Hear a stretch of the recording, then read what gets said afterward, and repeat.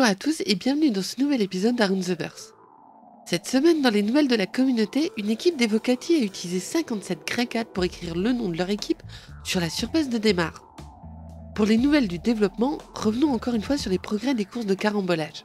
Certaines de ces courses passant dans la ceinture d'astéroïdes de Yela, il arrive que les joueurs se prennent un astéroïde durant le vol. Car avec l'éclairage actuel, il est tout simplement impossible de les voir. L'équipe chargée des missions a donc travaillé avec l'équipe Lumière pour corriger ce problème.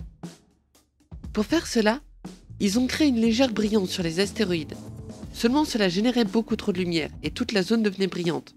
Ils ont corrigé cela en essayant d'ajouter des câbles et des antennes similaires à celles de Grimex, à différents points de l'arène permettant de mieux voir les objets sur votre trajectoire. Mais le résultat n'étant toujours pas au rendez-vous, une troisième option a donc été proposée, des effets d'atténuation ont été appliqués sur les astéroïdes, réduisant la brillance de ceux-ci. Il y a donc suffisamment de lumière pour les voir sans avoir l'impression qu'ils brillent dans la nuit. Il est toujours difficile dans un jeu qui se veut réaliste de trouver la bonne balance d'éclairage lorsqu'il n'y a aucune source de lumière à proximité, pour que les joueurs puissent tout de même voir leur environnement sans briser l'immersion.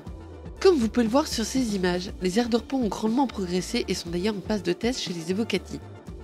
Le système procédural permet de voir facilement plusieurs stations différentes les unes des autres en économisant du temps de développement. Nous pouvons voir ici un test d'approche du hangar du point de vue d'un pilote.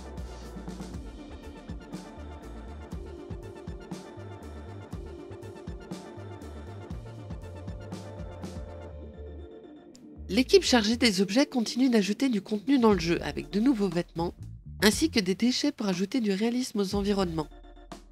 La 3.3 ajoute beaucoup de changements au fonctionnement des composants, et les équipes ont travaillé ardemment pour corriger les problèmes actuels sur la gestion d'énergie. Il s'avère qu'un souci de priorité dans les listes de tâches éteignait les composants du vaisseau, vous laissant dans l'incapacité de piloter. Les designers ont donc redéfini les priorités par objet, pour que par exemple en cas d'énergie insuffisante, vous boucliez lâche avant vos moteurs vous laissant la possibilité de fuir.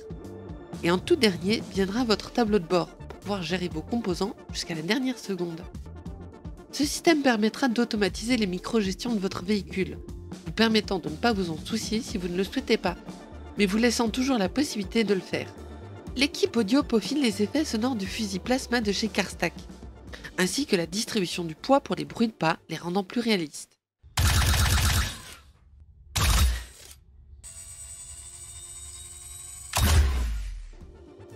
En fonction de la direction de vos pas, ils feront plus ou moins de bruit. Par exemple, si vous marchez à reculons, votre vitesse et la distribution du poids de votre corps feront diminuer les sons que vous produisez. De plus, chaque pied génère un bruit indépendamment, rendant la marche beaucoup plus dynamique. Pour finir, l'ajout de la concentration sonore que nous avions vu dans un ATV précédemment augmentera le son de vos pas si vous baissez la tête vers vos pieds. Passons maintenant à la motion capture qui permet de donner vie à vos personnages préférés. Les images que nous voyons proviennent d'une capture pour des PNG génériques que nous croiserons dans le jeu. Pour maximiser les sessions de tournage, les développeurs capturent le son, l'expression faciale et la mocap en une seule et même prise. Grâce à un système de synchronisation du code temporel, leur évitant de devoir tout resynchroniser une fois la prise terminée. Plusieurs scènes ont été tournées pour l'arrivée de la 3.3 concernant les IFPS et leur ville. Cette vidéo est maintenant terminée. Merci à tous d'avoir regardé, j'espère que vous a plu. Vous pouvez nous suivre sur tous les réseaux sociaux ainsi que sur le Discord Roxy la Rotule. Les liens sont dans la description. Si vous souhaitez soutenir la chaîne, vous pouvez faire un tour sur notre Tipeee ou sur notre boutique Spreadshirt. Mais aussi partager cette vidéo, vous abonner et activer la cloche pour ne rien rater. Moi je vous fais des bisous des étoiles et je vous dis à très bientôt around, around the verse.